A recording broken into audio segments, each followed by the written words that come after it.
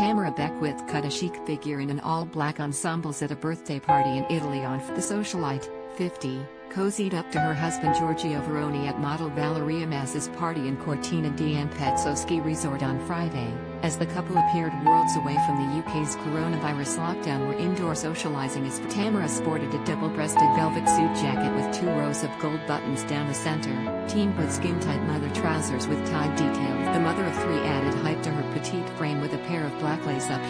She added a touch of makeup, including blush and a pink lip, to accentuate her features and left her hair in that Giorgio meanwhile looked dapper in a black velvet blazer, trousers and loafers as he the, the couple, who are parents to children Violet, 10, and Vero, 5, were celebrating the birthday of model Valerie. She was pictured at the celebrations which took place during the Alpine World Ski Championships. Tamara also has a grown-up daughter Anouska, 33, from a previous relationship.